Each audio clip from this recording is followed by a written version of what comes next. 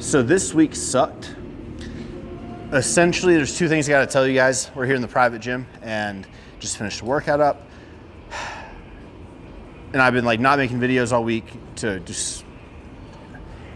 We have to cancel Summer Shredding Chicago. Um, and uh,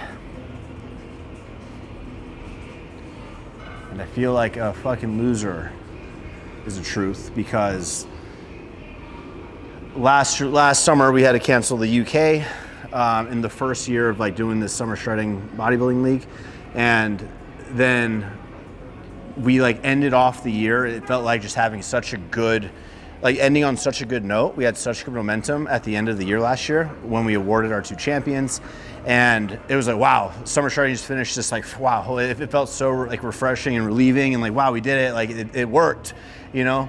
And that's like the last I felt, and then it feels like I just like blinked my eyes, and all of a sudden now like this week we're eight weeks out from the chicago show which is meant to kick off the 2024 season.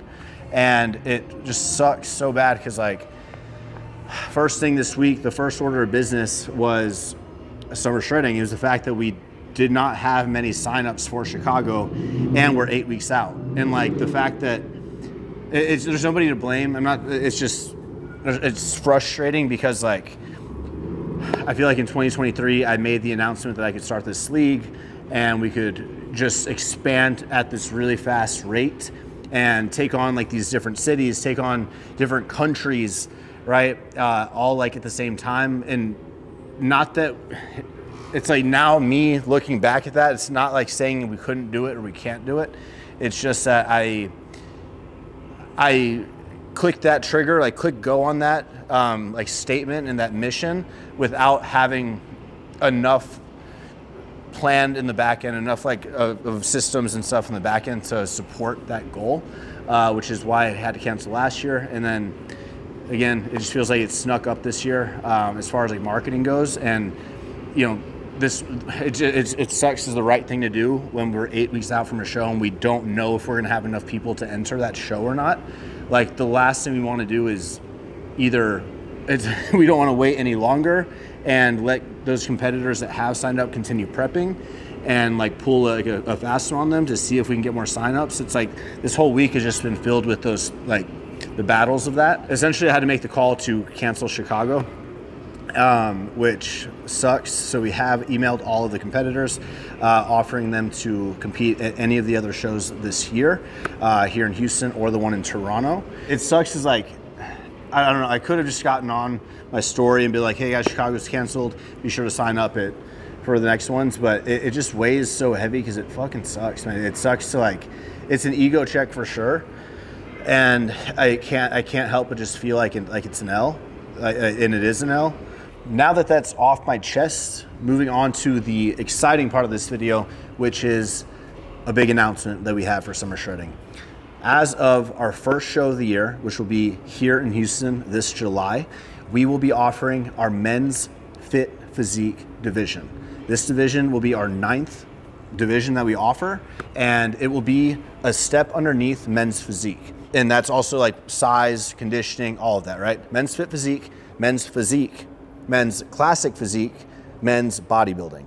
So, fit physique is the entry level class. It is going to be fully drug tested, uh, which is a very big step for us. And yeah, we're taking the jump. I think that the this world needs a class in the space for that to happen with more eyeballs on it, and I feel like that's what summer shredding can do. Um, this is our first year that we're going to be doing this division. Uh, it's going to evolve as we go throughout the years, I'm sure, but we are starting it this year. So I'm very, very excited. We're still looking for an athletic build, a lean build, a muscular build, but just not necessarily as much size and as crazy conditioning as the men's physique division. So that's the big news.